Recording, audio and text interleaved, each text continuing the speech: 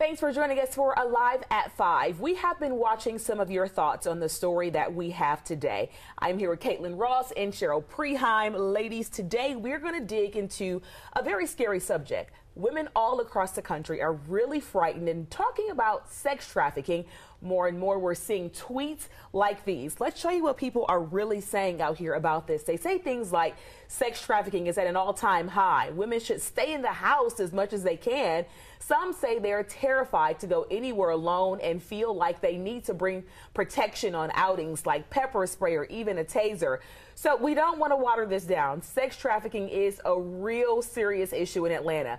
Our Atticus investigative team found it's a $290 million underground industry, but there are also some really harmful rumors being posted online about sex trafficking, and we want to let you know what's real and what's not. We want you to take a look at just how some of those claims have spread online so quickly recently. One has been shared 65,000 times.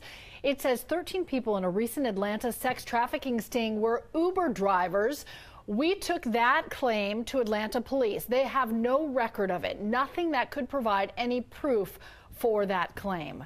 We've also covered a really serious case recently about a woman who was part of a church group. She was going up to people at Kroger asking if they wanted to join a Bible study. Suddenly, she finds this post online with her picture and her car tag accusing her of human trafficking.